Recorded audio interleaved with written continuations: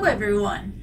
Today we are going to talk about changing our desktop background. And for those of you who do not know what your desktop is, simply put, it's the area where your icons are.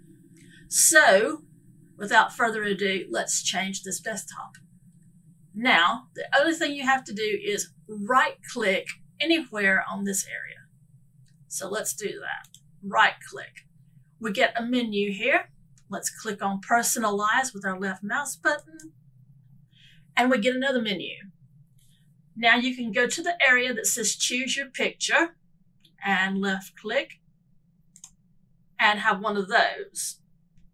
Or you can go and personalize it with one of your own photos by going to browse and then picking the photo you want, left clicking it, choose picture and it loads it for you. That's all you have to do.